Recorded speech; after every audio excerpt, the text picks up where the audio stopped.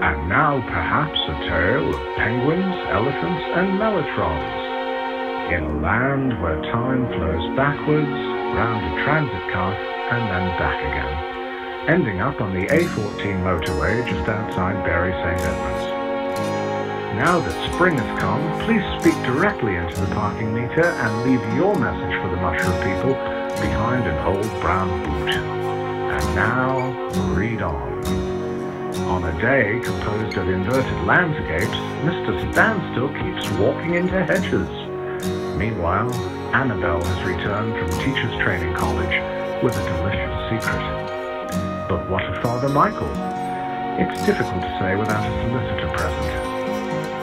In a fortnight's time, we'll meet for crisps at the Bun and Puffin, where Claire will perform her topless tribute to Sir Kenneth Clark, while juggling apples and bathing in gin and tonic. And if we can borrow Dell's old portable record player, we'll be listening to Sergeant Elliot Grimsby's new album, Lust Amongst the Teacups, of which the Bath Evening Chronicle said, Dear Sergeant Elliot, it was never very far from interesting, old boy.